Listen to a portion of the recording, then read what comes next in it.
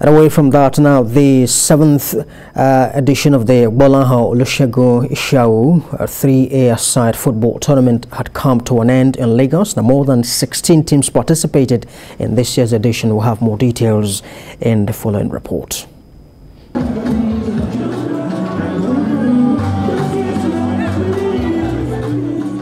The seventh edition of the Gbolahan Olusegun Yishawu three-a-side football tournament has come to an end in Lagos. 16 teams participated in the 2022 edition, which also has a participation of female teams.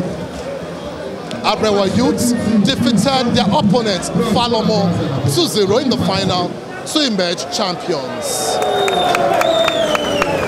I'm feeling happy about this because the other team we play, they are better side. I've been watching their game since the game of the tournament, but God, God will be the glory. We come out victorious. Former chairman Lagos State Football Association told TVC News that this is a welcome development in the States. I'm for grassroots. I love football. That is why I belong to football. And I love the man in, in coach, the honorable.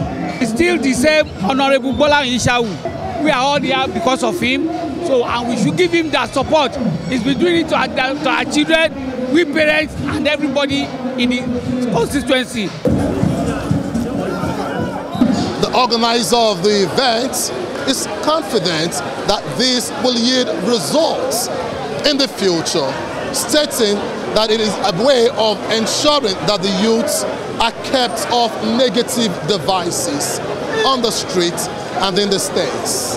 And we have used sports here and we continue to use it to bring them together. That is the idea. They played football, they play it annually.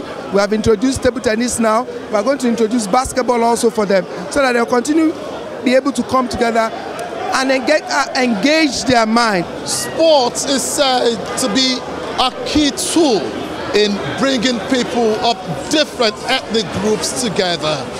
And here at Falomo on the bridge in Lagos, it's been an amazing moment using football, tennis, and other sports in bringing the youth together in the center of excellence. Mian Akiri, TVC News, Lagos.